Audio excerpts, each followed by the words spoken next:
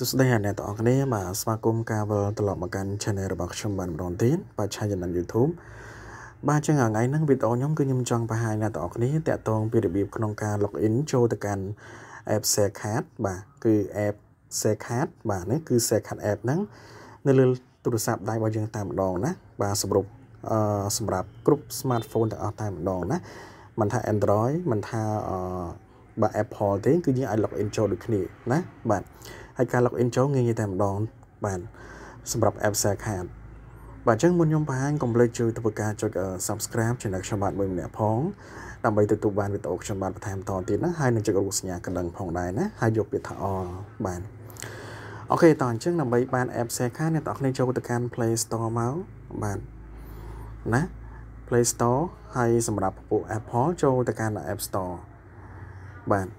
វាចេញផ្ទះមកបែបនេះសូមអ្នកទាំងអស់គ្នាវាយពាក្យថា share card app មកអូខេបាទ share card app បាទ share card app យើងសេចមកអូខេបាទវាចេញមកផ្ទាំងបែបនេះបាទអញ្ចឹងអ្នកទាំងគ្នាចុច download មកអញ្ចឹងដោយសារខ្ញុំបាន download រួចហើយអញ្ចឹងវាអត់ចេញផ្ទាំង download ទៀតទេណាអ្នកទាំងគ្នា ចឹងខ្ញុំសូមបើកជូនអ្នកទាំងអស់គ្នាតែម្ដងបាទអូខេនេះបាទងាយងាយតែម្ដងអ្នកទាំងអស់គ្នាណាបាទចុចលេខនឹងមករងចាំបន្តិចបាទរងចាំបន្តិចអូខេអញ្ចឹងវានឹងចេញផ្ទាំងមកបែបនេះ បាទបន្ទាប់មកវាមានចេញមកលោតជាភាសាខ្មែរភាសាអង់គ្លេសនិងភាសាចិនអញ្ចឹងសម្រាប់អ្នកទាំងអស់គ្នាដែលមិនចេះភាសាអង់គ្លេសឬក៏ភាសាចិនអាចយកភាសាខ្មែរបានឬក៏សម្រាប់អ្នកដែលចេះភាសាអង់គ្លេសឬក៏ចេះចិនអាចយកភាសាពីរហ្នឹងក៏បានដែរណាអូខេអញ្ចឹងសម្រាប់ខ្ញុំគឺខ្ញុំយកភាសាអង់គ្លេសតែម្ដងតាមអ្នកទាំងអស់គ្នាចង់យកភាសាខ្មែរក៏បានដែរសម្រាប់យើងអត់ចេះភាសាអង់គ្លេសណាស្រួលមើលអញ្ចឹងយើងចុចលើហ្នឹងមក អូខេអញ្ចឹងវាចេញផ្ទាំងបែបនេះសូមអ្នកទាំងអស់គ្នាយកពាក្យថា login ណា login បាទ login បន្ទាប់មកវាចេញផ្ទាំងបែបនេះវាឲ្យយើងដាក់លេខទូរស័ព្ទ share card របស់យើងអញ្ចឹង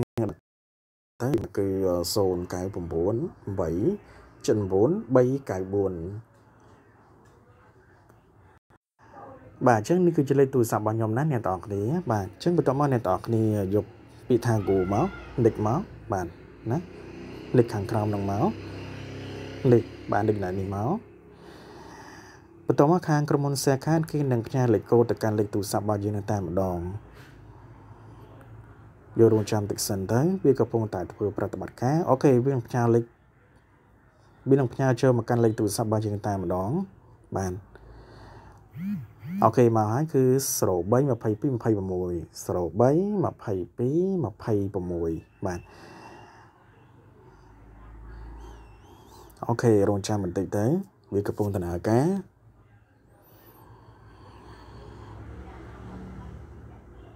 OK បាទអញ្ចឹងវាមកដល់ហើយនេះគឺជាផ្ទាំង app របស់ Share ចឹងអ្នកទាំងអស់គ្នាអាច login ចូលប្រើប្រាស់បានណា OK អាចធ្វើការត្រួតពិនិត្យជាមួយនឹងទឹកប្រាក់របស់អ្នកទាំងអស់គ្នាអញ្ចឹងវាចេញផ្ទាំង app ហ្នឹងវាបង្ហាញយើងទេចឹងអ្នកទាំងអស់គ្នាមិនបាច់ចាំបាច់ធ្វើច្រើនទេគ្រាន់គ្រាន់តែយកដៃប៉ះលើអេក្រង់ទូរស័ព្ទយើងទៅវានឹងទៅឯងតែម្ដងអូខេណាបាទ អូខេបាទអញ្ចឹងនេះគឺជាវិធីក្នុងការ login ចូលទៅកាន់ app Share Card តែម្ដង បាទងាយងាយតែម្ដងស្រួលស្រួលបាទអញ្ចឹងវីដេអូក្រោយខ្ញុំនឹងបង្ហាញអ្នកទាំងអស់គ្នាតាក់ទងពីការប្រើប្រាស់ app Share Card តែម្ដងណាតើគេប្រើប្រាស់យ៉ាងដូចម្តេចដែរទៅលើ app Share Card ហ្នឹងបាទ OK បាទអរគុណនៃការទស្សនាណាមានបើសិនជាមានកំហុសឆ្គងក្នុងការពន្យល់អីសូមខន្តីអភ័យទោសផងដែរណាបាទ OK បាទអរគុណនៃការទស្សនាណាបាទអញ្ចឹងជួបខ្ញុំនៅវីដេអូក្រោយទៀតបាទអរគុណណាបាទ